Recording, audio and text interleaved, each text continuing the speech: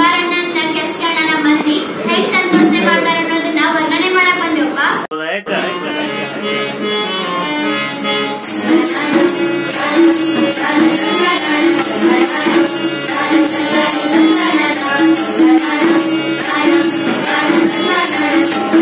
Thank you.